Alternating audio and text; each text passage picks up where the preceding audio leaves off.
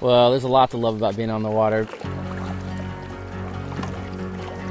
You can't imagine what you're going to see each day. Some days it's uh, you know beautiful sunset, and some days there's killer whales right you know right off the bows of the boat. So it's a beautiful time.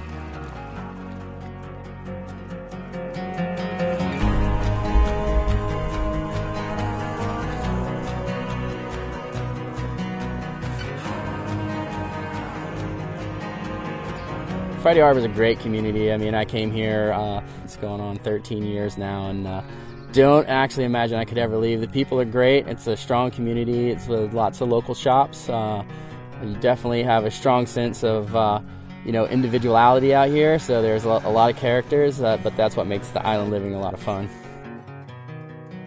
It's uh, a really unique situation launching from San Juan County Park, having a chance to see different wildlife in the San Juans is a beautiful time.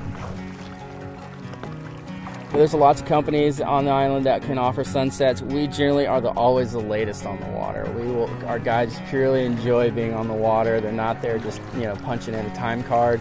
So they're out there with people having a great experience. Uh, the awesome thing about sunset is there is less vessel traffic. Kayak traffic's low, boat traffic's low, so it's it provides a really quiet, pristine uh, water environment to be out there.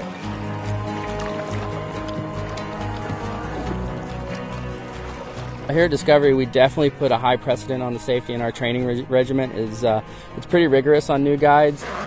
You know, all guides are required to wear immersion wear, so we work in dry suits. Uh, when we're operating, we want to make sure that we're completely committed to any situation that can arise on the water.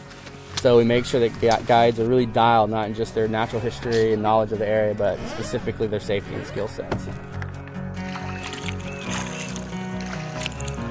From the various experiences that we do offer, you know, from you know the camping experiences to our day trip stuff and half day tour stuff here on the west side, people, you know, they just really enjoy kind of the uh, the aspect of being out.